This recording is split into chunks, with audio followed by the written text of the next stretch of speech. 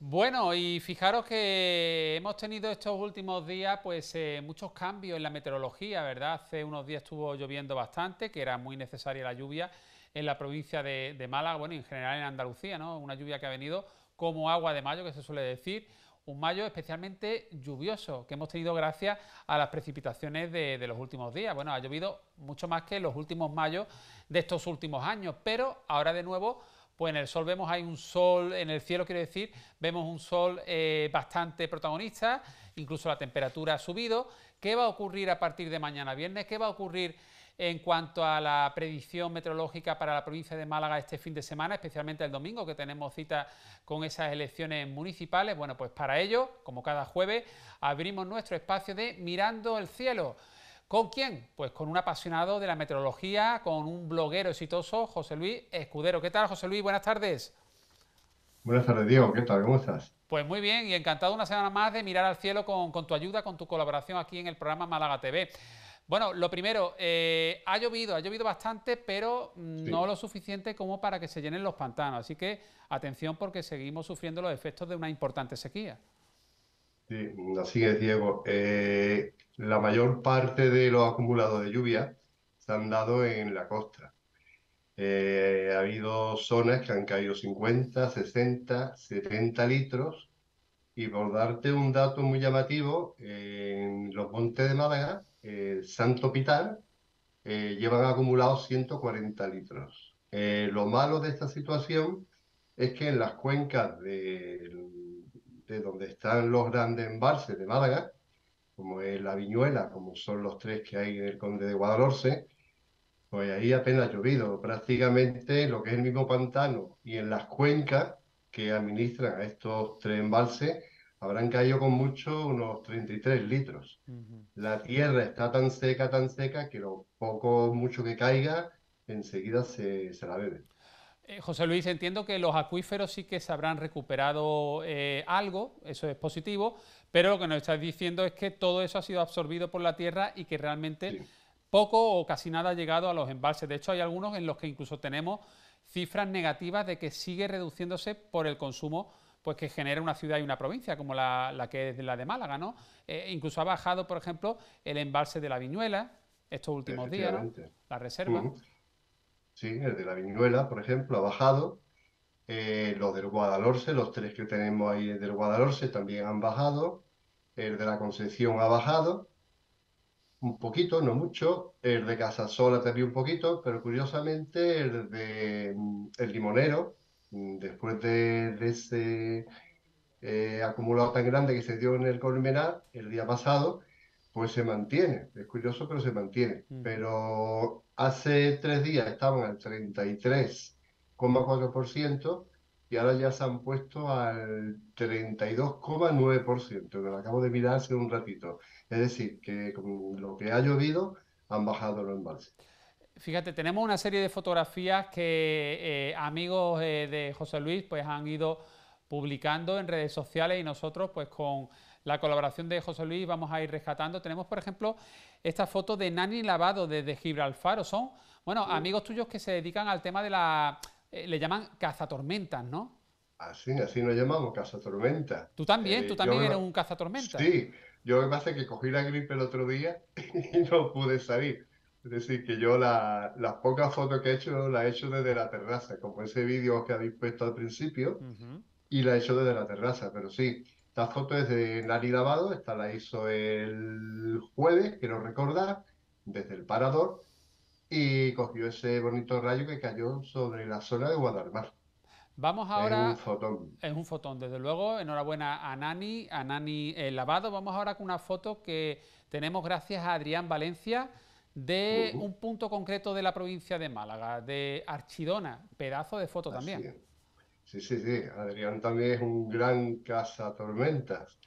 Y el día pasado, el viernes pasado, no solamente cogió este rayo, cogió cinco rayos más, pero este fue el que yo puse en el blog porque a mí es el que más me gustaba. Y sí, él vive allí en Adrián, tiene desde su casa, tiene una vista muy bonita. Lo que se ve al fondo es la, peña de los enamorados. y, la verdad que es otro fotón. Y de Adrián vamos a David Mancebo en Marbella, que también eh, captaba con su objetivo pues estos rayos. Sí, sí. David Mancebo eh, se fue hacia la zona de Marbella porque ahí la probabilidad de tormentas era, era mayor el domingo. Entonces eh, cogió este impresionante rayo, que es muy difícil cogerlo porque hay mucha luz y, la verdad que es otro fotón, es otro fotón. Y de estos cazatormentas, ¿eh? de Enani, de Adrián y de David, pues vamos a pegar un pequeño salto, nos salimos de la provincia de Málaga para, atención, en el mes de mayo ha nevado en Sierra Nevada y además mm, con bastante intensidad, ¿no? Fijaros el grosor eh, de, la nieve, ¿no? En Sierra Nevada eh, en estos días. Antonio Jesús Jiménez nos eh, manda estas fotos desde Sierra Nevada. Sí, sí, mi amigo Antonio Jesús Jiménez, que también es un cazatormenta, pues cogió su grupo de montaña y se fueron el domingo a, Sierra Nevada. Si yo hubiera estado bueno, por lo mismo me hubiera apuntado. Bueno, ya, está, ya, está eh, ya, está, recuperado, ¿no? Ya, estoy recuperado, ya estoy ya preparado para el sábado. Estupendo, porque el sábado ahora lo diremos, pero el sábado va, a llover, eh, creo que bastante. Ahora de todas formas nos, dirá eh, nos dirá José Luis. Pero, oye, por cierto, estamos en el mes de mayo, mm, terminando casi el mes de mayo, pero atención porque el mes anterior, el mes de abril, ha sido el abril más caluroso de los últimos años, ¿no es así, José Luis? Así es, Diego, ha sido el más caluroso desde que se tiene en registro. Eh, por darte datos, en dos ocasiones eh, se superó la temperatura máxima más alta. Se dio el día, el viernes de Dolores, se dio 37,7 grados, y luego el día 29 llegamos a 34,3, es decir, que en ese mes se batieron eh, dos veces mm, el de temperatura máxima. Pero también se ha, se ha batido el primer récord de temperatura mínima más alta también se ha batido temperatura media de las máximas más altas y también se ha batido la temperatura media. Es decir, que ha sido un mes eh, muy, muy caluroso. No solamente aquí, eh, también en Andalucía y en España sí es de los más calurosos. De los más calurosos y, de los más secos, ¿no? Desde que se registran datos. Oye, José Luis, la predicción para este fin de semana es de mañana viernes. ¿Cómo se presentan eh, los cielos en Málaga, capital y provincia? Pues sí, te cuento, Diego. Eh, nos va a afectar una dana retrógrada.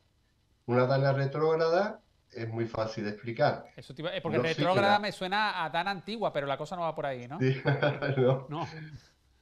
Eh, no, sí, es muy fácil. esta dana viene desde Alemania, está pasando ya a Francia, se va a situar en el Cantábrico y ya mañana a última hora se sitúa frente a Portugal. Es decir, es retrógrada porque ha cogido un camino que es de este a oeste. Mm, no ha seguido la circulación general. En, el, hemisferio norte la circulación general va de oeste a este. Las borrascas, los frentes, todo eso va de oeste a este.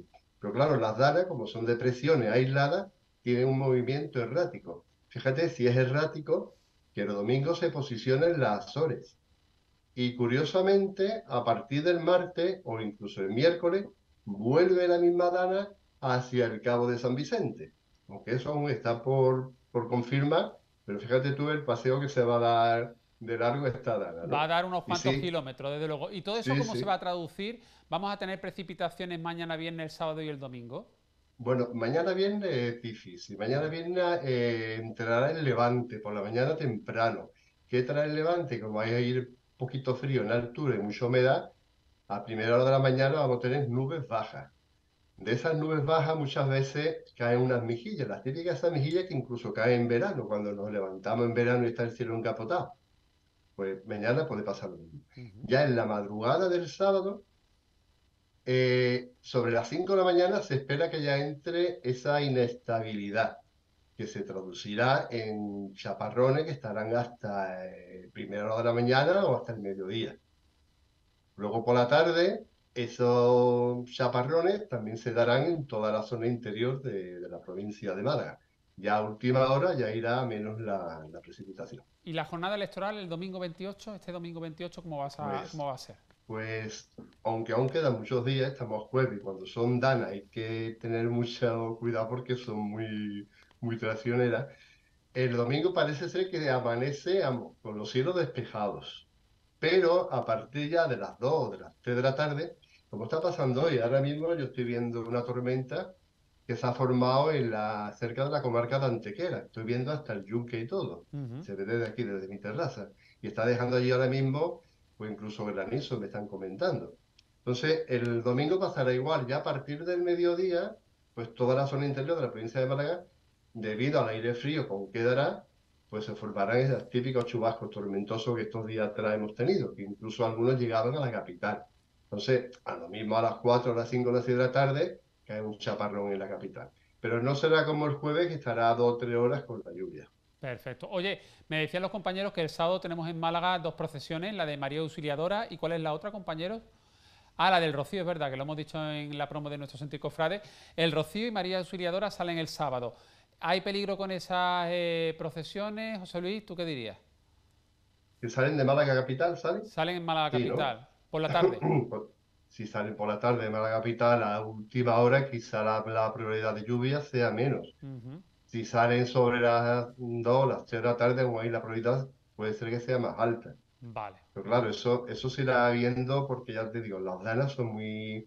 Esta dana que nos afecta, como se traslade un poquito más a la izquierda o a la, a la derecha, hoy lo comentaba en el blog, al final o cae en Cádiz, la provincia de Cádiz, todo, o en la de Granada. De momento todos los modelos coinciden en la provincia de Málaga. Es lo que suelen tener las danas, ¿no? Que son precipitaciones normalmente intensas, pero muy focalizadas y que es más difícil de predecir exactamente en el sitio donde van a caer, porque es más localizado, no es tan... Efectivamente, Diego, es que como se mueve un poquito la dana a la izquierda o a la derecha, eh, toda esa precipitación que esperamos en la provincia de Málaga, pues puede ser que se vayan para la zona de Granada, o al revés, o para la zona de Cádiz. De Cádiz. Oye, eh, sí, José Luis, mira, fuera de tiempo, pero lo teníamos ahí pendiente de la semana pasada. ¿Podría explicarnos brevemente en qué, consiste esto del tarot? Que desde hace poquitos años venimos escuchando en Málaga el tarot, el tarot de Málaga. ¿Qué es esta neblina? ¿En qué consiste? ¿Por qué se forma? El tarot. Muy bien, el tarot es la niebla de objeción. Eh, los pescadores la, suelen llamar también boria, pero aquí en Málaga la solemos llamar tarot, que es de origen fenicio.